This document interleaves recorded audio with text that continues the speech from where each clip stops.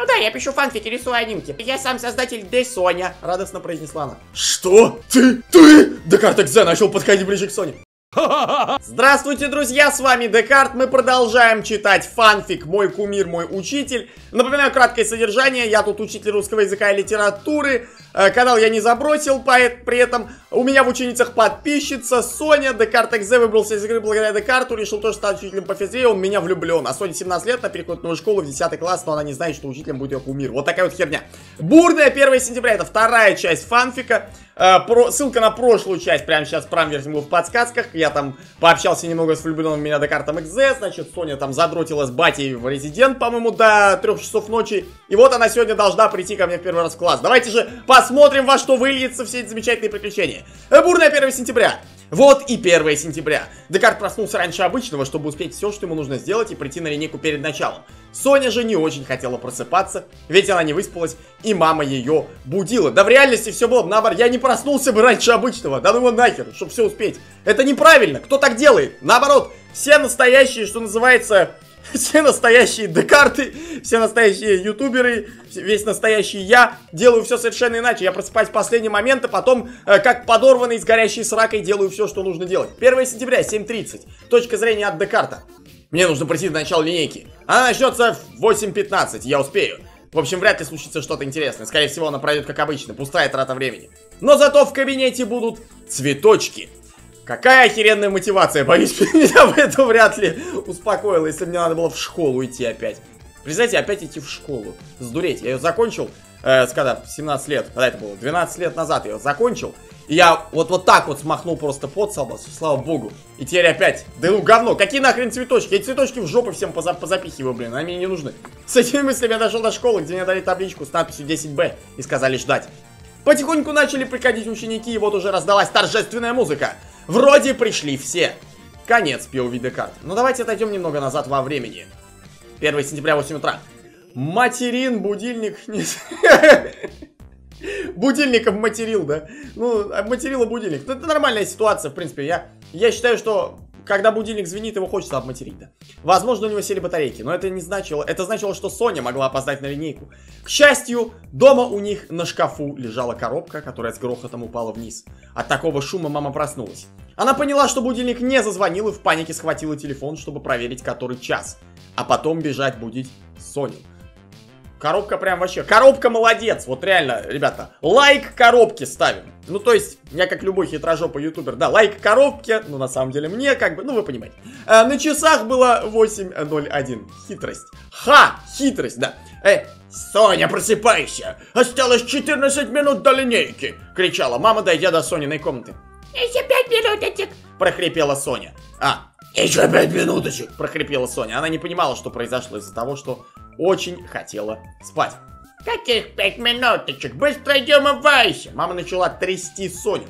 Да, да, иду. Расстроенная Соня пошла умываться. После этого она быстро надела себе блушку, пиджак, блушку, блушку, блю, блюшку, надела блюшку, пиджак, штаны. Потом причесалась, надела очки, схватила свой портфель, побежала в школу. Ох, эти веселые школьные будни, мать его, с причесываниями, пиджаками, штанами, прочим говном. Э, Соня, я просто бежала, как могла в школу. А, ну если она рассказывает, то мы понимаем, да? Я просто бежала, как могла в школу. Благо мой портфель по имени Боб не был тяжелым. Да, в последнее время я слишком много бегаю. Наверное, уже музон прошел, и там начались всякие разговоры. Мне кажется, впечатление я проведу плохое. Надо учитывать, что у меня нет, нет цветов. Да все, я тебя выгоню нахер просто. без цветов не входить, понимаете? Главное условие для обучения в школе приходить со сраными цветами. Иди на ближайшую могилу, воруй, я не знаю, делай, что хочешь. И в спешке я забыл их дома. Наверное, учительница учитель был очень злы. Ну, в общем, не важно. Когда я прибежала, была толпа народу. Меня это пугало. На сцене уже говорили какие-то стишки. Мне было все равно, я пошла искать свою табличку. Я еле протискивалась между людьми. Конце концов, я нашла нужную мне табличку. Я быстро подбежала и встала рядом с учителем и начала смотреть в пол. Все шумели, на фоне были стишки, а я просто ждала, когда все закончится. Как и все мы, наверное, которые были на линейке. Мы просто стояли и ждали, когда все это закончится. Уж я-то точно. Конец, Соня. А вот наша ученица. Надеюсь, ты не всегда опаздываешь. Это я говорю, что ли? А, это, наверное, я говорю. А, вот наша новая ученица. Надеюсь, ты не всегда опаздываешь. А почему без цветов? Шутливым голосом говорил ДК. А, шутливым голосом? А, если ты всегда опаздываешь, а почему без цветов? А? А? Шутливым голосом говорил ДК. Соня же просто офигела. Нет, не из-за того, что учитель мужик, это нормально. Голос был очень похож на голос ее кумира. Та решила поднять голову и посмотреть, кто это. И тут она была в шоке. Это был ее любимый Декарт. Тот, кого она обожала на протяжении нескольких лет, является ее класс, классным руководителем. Ну что, довольно классный руководитель, да, получается. Классный, классный руководитель. Разве о таком можно мечтать? Хотя нет, не можно. Ей она вряд ли сможет подружиться с ним. Ей будет очень сильно ее огорчать, да? Ну что с тобой, ты меня испугалась? После того, как Декарт сказал, сзади пошли смешки. Это были ученики Декарт. Да нет, не испугался, я шутить забыл. Я случайно опоздал из-за того, что будильник не прозвенел. О, ты мальчик? Я думал, к нам перейдет ученица. Он говорил это с сарказмом, чтобы было понятно, что это шутка. А, сарказм. Оу, ты мальчик! А думал, к нам придет ученица! Не, не, я баба. Я, возможно, потом объясню. Произнеся это, Сонин стал немного ближе к Декарту, тот не обратил на это внимания. Это надо обращать, надо обращать на это внимание, когда ты учитель в школе. Декарт, надо обращать внимание на такие вещи. Ты не обратишь, а, что называется, органы власти обратят, поэтому ты аккуратней. А спустя несколько минут она почувствовала ладонь на своем плече. Эй, ты новый, да? Это был пацан чуть ниже Сони, у него были черные волосы, карие глаза. А, пацан? Эй, ты новый, да? Да, новый. Соня испугалась, еще ближе подвинулась к Декарту, чуть ли не прижимаясь. Да, блин, ты, ты что это за дела, я не пойму. Пацан, ты можешь отойти. Ты можешь отойти, чтобы ко мне тут не прижимались. Мне еще рано садиться в тюрьму. Э, ясно. Меня Вася зовут, а тебя как? Хотя подожди, ты вроде Соня, да? Ого. Соне не было комфортно из-за того, что с ней заговорили. Хотя, если бы это случилось в школе, на перемене, или после линейки, то еще ладно, но не сейчас. Ей больше хотелось просто стоять рядом с Декартом, чем с кем-то говорить. Тут Декарт заметил, насколько рядом была... Рядом, рядом была Соня. И чуть-чуть она прижмется к нему, как же... Так же еще она дрожала. Эй, ты что, замерзла, что ли? Если хочешь обняться, так и скажи. Эй, ты что, замерзла, что ли? А? Если хочешь обняться, так и скажи. Шутливо сказал Декарт. Класс начал ржать, Соня про себя проклинала Васю. Но на весь этот шум отреагировал директор.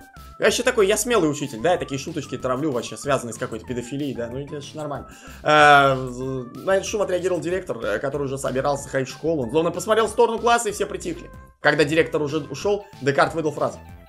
Ну почему, когда я на вас злобно смотрю, вы не замолкаете? Неужели только звонки родителям вас успокаивают? Вдруг Соню схватили за руку, это был Декарт, сейчас классы должны были заходить в школу. Она очень удивилась, в конце концов она не в первом классе, чтобы учитель кого-то из учеников вел под ручку. Хотя вряд ли она просто найдет свой кабинет, так еще и в такой толпе. Что-то у меня какое-то, знаете, странное какое-то поведение у меня. Какое-то странное у меня поведение. Что-то хватаю там, ну хоть за руку схватил. Но только вторая глава, я уже за руку схватил. А в третьей я что сделаю? А, я, а что я в третьей сделаю? А я боюсь, что я в третьей сделаю, ребят. Вот настало время их класса идти в кабинет. Они шли немного пролезая через остальную толпу. Потом зашли на третий этаж, 45-й кабинет. Соня сразу уселась на первую парту перед носом у Декарта. Дальше пошел просто обычный текст, а как вы там отдохнули, что завтра дадут учебники, какие тетради принести и так далее. Когда все это закончилось, все начали расходиться. Остались только Декарт, Вася и Соня. А мне интересно, там помимо вот этой Сони, там еще есть какие-то подписчики моего канала в классе, типа? Может, какие-то производители игр, я им даю задание. Так, так, ребята, зада домашнее задание на сегодня э, литература. Прочитать, э, прочитать, значит, Пушкина, Капитанскую дочку. Э, так, э, а тебе, Мишаня, так, делаем, значит, Петросян XZ. А тебе, значит, делаем Brawl Stars XZ15. А тебе, значит, делаем Minecraft XZ25. Приду, проверю, мне нужен контент, да, если нет, родителей в школу. Я, может быть, так себя веду, не знаю. Короче, э, значит, э, когда все это закончилось, все начали расходиться. Остались только Декарт, Вася и Соня. Соне нужно было, чтобы Вася свалил, и они могли поговорить с Декартом. Но на удивление их обоих Декарт решил, что у него нет дел. И он может идти домой. На удивление, рабочий день закончился. Слышь вы, малявки, отпустите меня домой. Я домой хочу. Мне ролики записывать надо. Проверяю ваши сраные домашние задания, еще ролики записывать, понимаете? Соня сразу последовала за ним, а Вася за Соней. На лестнице Вася остановил Соню. Э, а ты чё так за ним бежишь? Тебе это какое дело, не мешай. Это еще почему? Я потом расскажу, ладно? После этих слов Соня побежала вниз по лестнице. Ладно, грустно сказал Вася. На самом деле у него не было друзей, он думал подружиться с новеньким. Но, наверное, не получится. Когда Соня вышла из школы, она увидела Декарта, который говорил с Декартом XZ. Ой, какая, какая дичь сейчас будет, я чувствую прям, да? Она была вдвойне в шоке. У нее и так классный руководитель ее кумир, а тут еще учитель Декарт Экзем, да. В общем, все... То неловкое чувство, когда у тебя и так руководитель, кумир, а тут еще учитель Декарт Экзе. Все были в такой ситуации, все прекрасно понимаем, жиза жизовы. В общем, где-то через 5 минут Декарт Экзе ушел. Соня пошла за Декарт. Прошло немного времени, и тот понял, что за ним следят. Соня! А, опять с сарказмом, да? Соня, что ты тут делаешь? А, а, а, у тебя какие-то вопросы, что ли? Ты реально меня хочешь обнять? Последнее предложение произнес шутливо с сарказмом. Я что-то с сарказмом, что до хера сарказма, мне кажется, для учителя русской литературы. До хера сарказма по поводу объятий, поцелуев, прочего говна какого-то, да? Я чувствую, мы так скоро дойдем до, до, до более каких-то пошлых сарказмов, я считаю, что это не надо. Я считаю, что это не надо, не надо это, я считаю. Э, Возможно. В общем, я знаю, что вы Декарт. Вы это, мой кумир. Всех. о, ничего себе. Ты это, надеюсь, во время уроков доставать-то меня не будешь? Конечно, не буду. И после уроков тоже. После уроков тоже не надо. И во время уроков не надо. И после уроков не надо. И даже если я уволюсь нахрен из школы, наверное, тоже не надо. Потому что... Потому что милиция не дремлет. Конечно, не буду. Я просто можно вас обнять? Я всегда хотела подружиться с вами. Хех. Э, Соня говорила, ты неуверенно, слегка напугана. Хорошо, возможно, мы подружимся. И да, обнять меня можно. После этих слов Декарт расставил руки. Ну, хоть не ноги, не то радует. Соня сразу же подошла ближе и обняла его. Когда они перестали обниматься, Декарт решил спросить одну вещь. Эх. Мне кажется, мне кажется, что на такой ответ, на такой вопрос нужно давать отрицательный ответ, когда ты учитель в школе. Ну, мне так кажется. Мне просто, у меня такое предчувствие, да. Что-то я как-то вообще особо не парюсь, да, там. Я... Да, как-нибудь нормально пронесет. У меня, может быть, крыша ди- директорская очень мощная. Может быть, я не знаю, может быть, директор этой школы это какой-то э, чувак, который тоже подписчик моего канала, я ничего не боюсь, хер пойми. А, ну что, где мы там? Значит, э, так ты поэтому на линейке ко мне прижималась? Ну, не совсем. Меня напугал один одноклассник. А раз вы единственный, кого я знаю, мне с вами комфортно, я начал к вам прижиматься. О, а как тебя напугали? И да, раз ты хочешь подружиться, но называй меня на ты. Блин, зашибись просто. Да, да, давай, давай, давай. А давай еще бутылочку вина с ней разопьем, Декарт. Ну ты дебил, что ли? Я не. Ну, меня не пугали, я сам испугался. В общем, я не ожидал, что со мной будут говорить, вот и испугался. Социофобия. Грамматикофобия. Не совсем. Тут разговор прервал Декарт Экзе, который подошел к ним. Привет, Декарт, а это кто с тобой? Это Соня, моя ученица и подписчица. Соня стала немного не по себе от взгляда Декарта Экзе, так что она стала ближе к Декарту. М, Соня, а я Декарт Экзе. Не бойся, я не кусаюсь. А ты что, интересуешь Декартом, ну или пишешь? Декарт Экзе следит за фандомом Декарта. Ему было бы интересно, кто там чем-либо занимается. Ну да, я пишу фанфики, рисую анимки. А я, я, я сам создатель Д. Соня. Радостно произнесла она. Что? Ты? Ты? Декарт Экзе начал подходить ближе к Соне. Тобой все нормально, Декарт, не будет такой реакции. Пиздец дичь, да, вообще? Просто задумайтесь об этом. Представьте себе эту картину в реальности. Вот это вот, вот это все. Декарт Экзе толкнул Соню, от чего она чуть не упала. Большое будущее в преподавательской среде, я считаю, у человека. Потом схватил Декарта и потащил за угол. Соня просто осталась стоять на месте, а когда те отошли, Декарт был напуган. «Не смей больше с ней говорить!» Словно кричал Декарт Экзе. «Поч- Почему? Ты чего? Просто не говори все. Нет, ты мне объясни. Ты просто взял и толкнул ее, а потом схватил меня и потащил сюда. Что она может сделать? Вдруг Декарт Экзе начал хныкать. Просто у тебя на руке э, фамилия. Из глаз Декарта Экзе пошли слезы. Интересно, как хныкает исчадие ада? Наверное, как-то так. Я во время разговора попытался взглянуть на руку. Там были твои имя и фамилия. Она еще и Де Соня создала. Я не хочу, чтобы она увела тебя у меня. Ты знаешь, глаза. А, я обожаю интернет. Просто обожаю. В смысле увела? Тут Декарт решил вставить свое слово. Декарт Экзек кинулся к Декарту и обнял его за шею. Да потому что я тебя люблю! Декарт Экзе был в слезах. Он не очень мог понимать или контролировать свои эмоции из-за того, что вышел из игры. Он бы не плакал, если бы с самого рождения был в реальном мире. Ой, я не догадывался. Ну прости, я не могу принять твои чувства, ведь я не Педрилкин. Изв- Извините, да? И это не из заметки, просто ты парень. Я не осуждаю, но я не из этих. Если позволишь, я продолжу общаться с Соней. Прошу, не будь таким эмоциональным и агрессивным. Прими это нормально, а то мне становится страшно, когда ты злой. Это мне становится страшно, когда ты злой, особенно после последнего случая, когда ты перестрелял всех учеников. Вот как-то обидно было немного. Да и плакать не надо, лады? Декарт пытался успокоить своего друга. Декарт Экзе отпустил Декарта. Эх, вот как оно, когда тебя отвергают. Ну ладно, можешь общаться с ней. Кто я такой, чтоб тебе указывал? Декарт Экзе выглядел очень грустно и после всего сказанного ушел. Ладно, интересно, Соня все еще там. Декарт вышел из-за угла и увидел Соню. Декарт, что случилось? Чего он так разозлился? Тобой все хорошо. Соня подбежал к Декарту. Да, все в норме. А разозлился, ну ты же знаешь, он Экзе и все такое. Ну да. Ну, В общем, а ты можешь меня... Это, знаете, это лучшее оправдание. Он даже когда тогда всех школьников перестрелял, мы просто в милиции искали. Ну, понимаете, он ХЗ. Милиционер сказал, а, ну да, да, ну ладно. Ну, ну, если так, то ладно, на первый раз прощаем. В общем, ты можешь меня в друзья ВКонтакте добавить? А как ты там записано? Я Гордей Инютин. Когда ты писал те сообщения На Ави ты найдешь. Что-то, кстати, знакомое, я где-то видел такое, такую имя и фамилию. Мне еще показалось очень странным это имя и фамилия на самом деле. Э, хорошо, ладно, я думаю, мы достаточно поговорили, тебе, наверное, пора и пока. Пока. Когда Соня сказал, Декарт провел своей рукой по голове, а потом ушел. Соня была очень рада. Но потом вспомнила, что совсем забыла спросить про метку у Декарта. Аж не последний раз с ним говорит, так что она может его спросить об этом позже. Ну, Давайте мы начнем главу следующую, но не, не дочитаем ее до конца. Бу- бу- интригу какую-нибудь а, сделаю. Хреновая физра. 2 сентября 5.30. Соня проснулась до того, как ее разбудила мама. Это странно, ведь обычно она не может встать, когда ее будет, а тут так. Она решила взять телефон, чтобы полазить в интернете и посмотреть время. Пять часов. Серьезно, я так рано проснулся. Но тогда я буду собираться в школу, мне не надо будет проверять под соцсети, а зачем потрачу не так много на собирание. Дальше она просто листала ленту ВКонтакте, Ютуба, Фигбука. Вот уже 6 часов. Вот, кстати, никому не рекомендую так делать после пробуждения. Сразу лезть в ВК, Ютуб, Фигбук, вот, вот в эти вот все дела. Лучше заняться какими-то другими делами, а то мозг сразу начинает нагружаться этими микрострессами, всеми этими делами.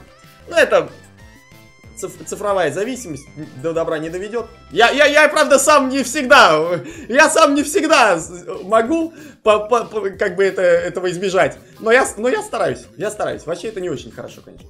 Э, Соня, ты чего так проснулась? Да фиг его знает, есть что пожрать. Нет, давай я тебе картошки пош... Отец не успел зага- заговорить. Заговорить? Ну да, если стоять и заговаривать картошку, она сама себя не сварит не пожарит. Это да, это я согласен. Да не, я яблоками наемся. С этими словами слова Соня взяла несколько яблок, помыла их, села за стол. Позже она порезала начала кушать сахарку. М.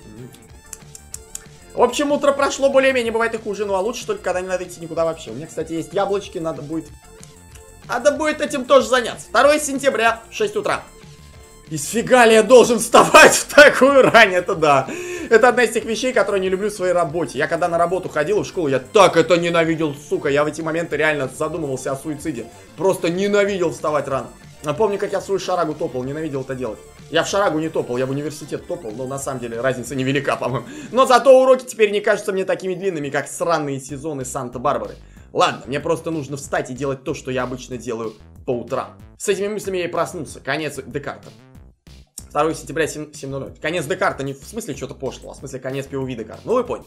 Э, Декарт Экзе был сильно раздражен. Он ненавидел вставать так рано. У нас прям с ним это общее, да? Э, Бля, который час? он посмотрел на время. Ебать, 7 утра, наверное, опоздаю. Надо просто схрумкать что-нибудь идти на работу. Спустя полчаса Декарт Экзе вышел. Обычно по пути он встречал Декарта, если, конечно, Декарт Экзе не опаздывает. Но сегодня его ожидал сюрприз. Обычно Декарт один, а тут к нему присоединяется Декарт Экзе, да? Но сегодня Декарт шел с компанией Соней. Та пыталась найти тему для разговора, но получались немного туповатые диалоги, от чего Соня хотела исчезнуть, а Декарту было смешно. Декарт Экзе был в ярости. Прямо как сейчас, да? Э, Так она еще и близко шла. Тут уже хотел ей голову оторвать, но сдерживался. Он обещал быть добрым. Ну, по крайней мере, пытался быть им. Тот подошел, пытаясь начать диалог. О, привет, Серега. Соня, не ждал тебя тут увидеть. Че это ты так рано идешь в школу? Да, и давай мы не будем делать вид, что я тебя вчера толкал. Вообще забудем об этом. Насрать совершенно. Пока Декарт так заговорил, он пытался протиснуться между Декартом и Соней, и у него это выходило. Соня же не была в восторге от происходящего. Нет, она не была против, чтобы он с ними шел. Просто именно в этот момент Соня заговорила ходить, а захотела заговорить о соулмейтах. Ничего не рано. Просто сегодня я раньше, раньше проснулся, вот и вышел раньше, ответила Соня с безразличием. Э, проснулся, вышел. Декарт Экзе не понял склонений. Привыкнешь. Я тоже сначала не понимал, что он так говорит. А, это я говорю, да? Привыкнешь, я тоже сначала не понял, что он-то говорит. Декарт похлопал по плечу Сони, чего она заулыбалась. А, хватит ее трогать! Хватит ее трогать, блядь! Хватит ее трогать уже! А, что до нее дотронулись, рада она, блин. Ну ладно, о, мы почти дошли. Сонь, беги, мы тебя потом догоним. Декарт Экзе слегка толкнул Соню в спину. Слегка толкнул, слегка дал пенделя, слегка достал нож, слегка черканул. Э, ну, Да, иди, мы позже поговорим, сказал Декарт, чем огорчил Соню. эх, ладно. Соня побежала в сторону школы. Это очень странно выглядело. Почти взрослая девушка бежит с детским портфелем. Он был красным, с белыми точками и листиками. Он был как мухомор. Также он был очень потрепан, так как ему уже лет 10. Декарт и Декарт XZ шли молча, смотрели на деревья, на цветы, сейчас начало, начало сентября. Все еще не успело покрыться снегом. Эту тишину решил прервать, ни хрена все еще не успел. У меня вообще, чтобы все в декабре покрылось снегом, это должно, чтобы повезло на самом деле. В сентябре так тем более. Эту тишину решил прервать Декарт. А это, а что это вы вместе, а это? Ну, как только она меня увидела, сразу подбежала ко мне и ненавязчиво начала следовать за мной и говорить. Я не хотел ее прогонять, да и это было забавно. POV Декарт XZ. Забавно. Хе-хе-хе. Я устрою ей такую забаву. У них же физра вроде первая. Я заставлю ее кучу кругов пробежать. Мне кажется, будет очень трудно делать. Я, конечно, обещал, что буду добрым, но это не считается. Я же ее не убиваю. Значит, все нормально. И вот на этом, ребята, мы закончим. Интрига, как же будет продвигаться этот замечательный урок? Ух, Декарт XZ-то погоняет-то. Погоняет эту ученицу Декарт XZ, я чувствую, по полной программе. Будет заставлять бегать, там, на коня на этого заскакивать, на матах там вот это кувыркаться и прочее говно. А пока мы на этом завершаем, вот такая вот, ребята, дичь. Ну, в принципе, интересно, чем это все закончится. Лично мне, не знаю, как вам, но если вы со мной согласны, то обязательно лайкайте это видео, комментируйте, подписывайтесь, жмите колокольчик, жмите поделиться, рассказывайте друзьям про это видео. Если вам стыдно не будет, конечно, да. Вступайте в группу ВК, ссылка внизу в описании. И всем счастливо, всем удачи, всем пока.